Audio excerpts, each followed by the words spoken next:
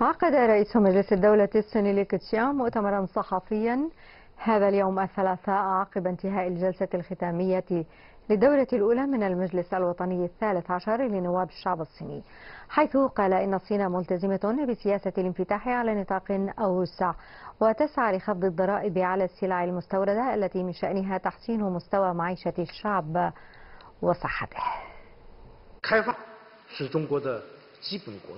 سياسة الانفتاح هي سياسة الدولة الأساسية. إذا كان هناك شيء يختلف عن الماضي فهو هل ستكون الصين منفتحة على نطاق أوسع ومع تكامل الاقتصاد الصيني مع العالم؟ فإغلاق الباب لن يؤدي إلا إلى إعاقة طريق الصين.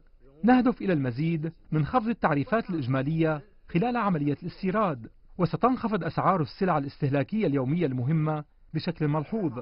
كما نخطط لإعفاء الأدوية خاصة الأدوية الملحة لمكافحة السرطان من التعريفات وأريد أن أؤكد على أن الانفتاح يجب أن يكون مسارا ذي اتجاهين مثلما يتطلب التجديف على جانبي القارب حتى يمضي قدما وألا سيدور القارب في المكان نفسه.